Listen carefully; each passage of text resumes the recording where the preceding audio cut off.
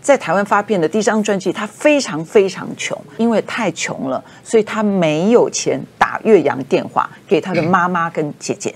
然后他必须就这样子在台湾过生活。那那个红头发故事是第二张专辑的时候是被姚谦看到，毕竟他的型在台湾那么多玉女歌手当中不多，所以重新帮他包装，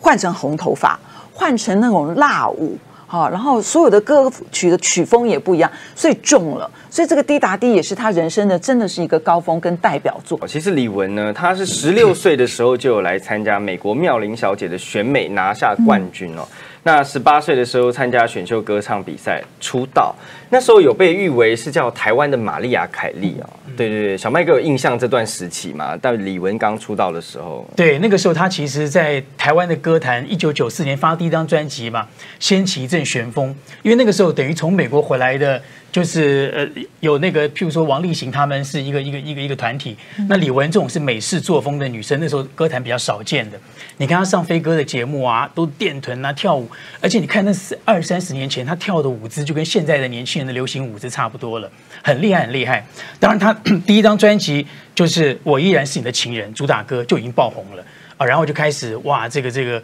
现在大家看到滴答滴是九八年，其实这首歌是他一个高峰，一个高峰。九八年他已经到了索尼唱片，然后是姚谦帮他打的这个这个这个，他因为李玟那个时候就是 RMB 的舞曲曲风，不管是抒情歌曲，这个就变成一个舞蹈，滴答滴是一个舞蹈天后了。这个时候，而且大家看到李玟，你看啊，她展现的是她造型，她是一个牛角红头发牛角。然后他的这个这个呃拉丁这个歌是一个翻唱歌曲，嗯。啊，然后是一种拉丁舞式的，然后这种火辣式的，他的这个拍的 MV 呢又在这个铁路局的一个古迹里面，呃铁路铁路管理局一个古迹，所以他整个的反差，包括他的 MV 啊，包括他自己的整个这个这个唱跳，然后这个歌的这个曲风洗脑的这种曲风，其实让这个这个专辑是李玟的这个专辑最卖的一个，台湾不到呃不到不到一个月就是五十万张。全亚洲卖了一百八十万张，哦，所以这个歌是非常让李玟上一个高峰的歌。而且大家可以看到这个 MV 里面啊，有没有印象最深刻的是什么？李玟的招牌。就是红头发，那时候那时候其实大家不要想说现在你看韩星嘛，染粉红色啦、蓝色、绿色啊，都稀松平常。但在那个年代，其实你很难想象那个年代我们要染染头发，你知道很前面。我那个时候我学校还有发镜呢，那个女生也是有发镜，男生也是有发镜的，更不要说你一个学生要染头发了。可是那个时候李玟是这么前卫哦，是在路上几乎你看不到有人染染这个颜色。可是这个红头发有故事的。对，就像刚刚麦哥讲的，他在十八岁然后出道嘛，因为今年是第三十年，他的第一张专辑刚刚有讲了哈，爱要趁现在，主打歌是我依然是你的情人，对，很好听。可是其实他当时的造型跟曲风跟后来的滴答滴是完全不同的。那那个年代的台湾的唱片啊，尤其是这个流行音乐，还是走那种纯情玉女，对对对，就是唱情歌的人都要有点苦情。然后要那个所谓的这个呃造型啊，也要就是看起来是玉女歌手这样的一个感觉，标配包装啊。但是李玟不是呀，各位，她是 A B C 呀。然后这个型跟你要打造的她本来的形象根本是非常违和。所以虽然第一首歌大家都记忆深刻，可是她在台湾发片的第一张专辑，她非常非常穷。她曾经讲过，因为。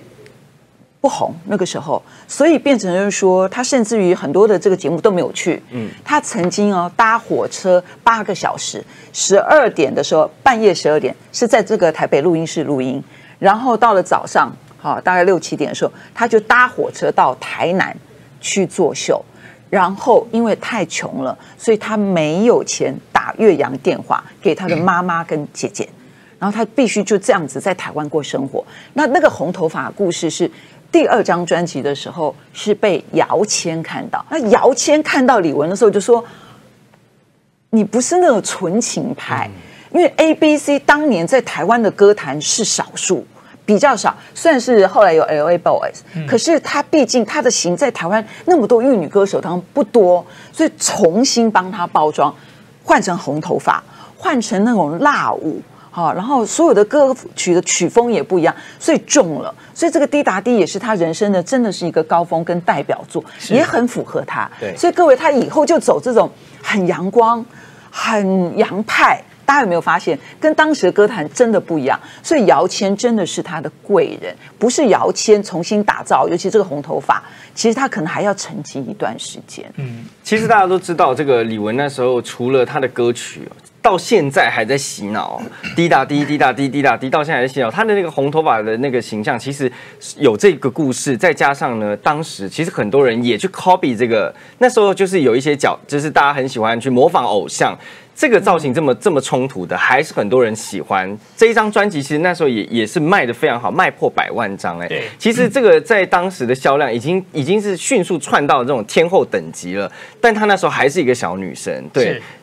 小麦，其实大家有没有小小不小的一个一个一个去译文哈？就是说，其实李玟 Coco 的专辑的台湾卖这么好，她是九四呃九三年香港歌唱比赛 TVB 的新秀大赛出来的，九四年来台湾发片。滴答滴是九八年，大家知不知道？一九九七年的时候呢，因为香港是李玟的出生地，他九岁移到美国去的，所以他十一九九七年他要回到香香港发他的第一张的这个这个这个这个这个这个粤语的专辑。但是你知道吗？这张专辑叫做呃李玟 Coco，可是你知道发生什么事情吗？因为呃当时啊姚谦因为这是索尼了，姚谦希望把这个。把这个李玟的这个这个这个身世呢，能够能够呃，就是变成国际化，对啊，就是又唱又跳国际化，所以就发了很多那个国际国际通讯社、路透社啊、法新社来来采访记者会，大型记者会，希望把他这个呃又跳又又又唱又跳的这种动感散发出去。可是你知道怎么样吗？结果那天记者会，外国通讯媒体完全没有来，因为那个时候李玟一九九七年还没有大红。你刚刚讲到就是《Coco》这张专辑，对对，结果外国媒体都没有来，然后。李玟就很失望，可是这张专辑也出师不利，在香港一九九七年只卖了十万张。对，这算是非常非常可怕的一个销量啊，在当时。所以你就发觉李玟的歌坛这三十年啊，他没有什么粤语歌曲，对，他的歌曲都是西洋国语歌跟流呃英文歌，而他其实会讲广东话的，他呃香港新闻大赛讲了一口标流利的广东话，九岁歌曲，哦这也是他跟这个他的经纪人姚谦第四张专辑合作的第四张专辑，但刚刚有提到在香港销量竟然就十万张。十万张很可怕，等于是现在在 YouTube 的 YouTube 的流量串流，可能可能点阅只有一万的这种概念哦，这你可以看有多可怕。所以导致于呢，他原本其实有计划好是下一张粤语专辑哇，但是后来呢，就是因为这张实在卖太差了，立刻喊卡。所以这我觉得是一个李玟很大的一个转机，因为呢他在那个时候卖太差了以后怎么办？我不可能说这艺人就不做了嘛。对，那我们怎么做呢？那不然转台湾。